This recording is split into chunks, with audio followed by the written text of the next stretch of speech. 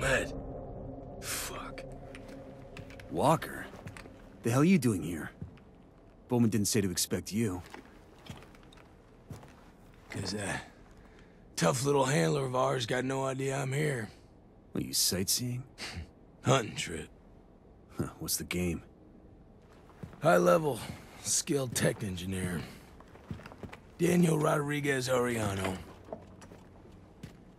See, Danny here, he's got access to company technology that the government does not want shared. But he's been spending a lot of time in Bolivia. Probably not out here soaking up the culture, huh?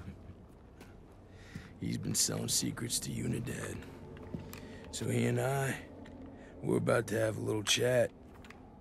Our mission from Bowman was to rescue him from Unidad. Look, I could blow sunshine up your ass all day, but I'll spare you. Bowman, she's my real target. They know exactly what he's been doing, but she's been protecting the little shit. What's he do for them?